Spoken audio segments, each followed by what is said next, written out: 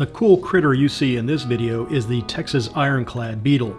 They live in east and central Texas and can also be found as far down as northern Mexico. They're called ironclad beetles because they have a really strong exoskeleton.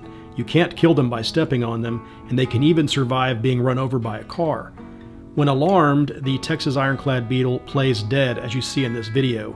They tuck in their legs and antenna and stay motionless and they can do so for a really long time, as you see in this time-lapse video. They will definitely outweight any predator who suspects that they may still be alive. In Mexico, it isn't uncommon for beetles in this species because of their strong exoskeleton to be decorated with gems and be made into animated jewelry or living brooches.